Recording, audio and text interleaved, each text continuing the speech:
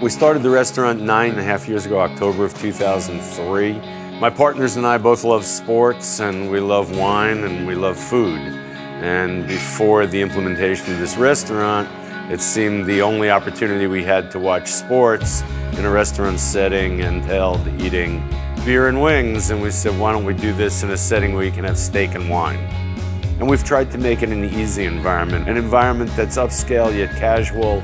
In order for people to come to us over the guy next door, there's got to be some point of differentiation between our restaurant. And technology is a point of differentiation between us and, and our, our restaurants around us. And I wanted something that's seamlessly integrated with Aloha. I wanted something that had ease of use, and I was looking for something that was secure. NCR Pay, it's a mobile payment system where guests can pay on their phone. Originally, payment was through credit cards, the credit card of their choice. It's seamlessly integrated and showed up instantaneously, so there's, there's no guesswork. Did the guest pay? Did the guest not pay? Mobile devices are huge.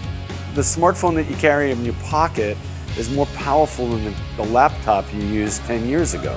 I think credit cards, I think plastic cards, I think a wallet, I actually think cash in the future may become an outmoded form of payment. I think that the one thing we're all going to continue to carry is a smartphone. From a customer's perspective, the value of mobile pay is that they have the ability to take control of the payment system. I mean, in the past, you've had to wait for your server to bring the check, come collect your form of payment, bring your payment back to you. The ability for the guest to take control of that situation. And because it's on a mobile phone, it's GPS enabled. We'll know in the future when a regular guest is in the restaurant. I see it as powerful. I mean, how would it be to walk up to a table and know that Mr. Smith is sitting at that table and greet that person by name? From the server's point of view, they can be taking care of another table and their guests can pay out and leave. The last impression a guest has of your restaurant is the payment transaction. The, the guest has the opportunity uh, to give us feedback on their experience.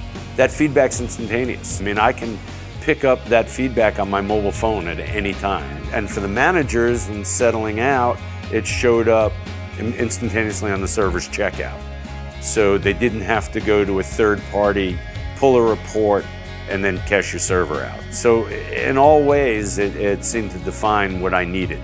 Now NCR Mobile Pay has expanded to using PayPal. There are over 30 million PayPal users, and I mean, that's a large number of people. I think the security that PayPal has exhibited over the years that it's been around, far better than people are finding. From our point of view, it's another level of security. I mean, we're no longer responsible for somebody's personal information with PayPal. So it gives the, the guest an opportunity to pay for a meal without the, the possibility of a breach of security that they would have in a restaurant.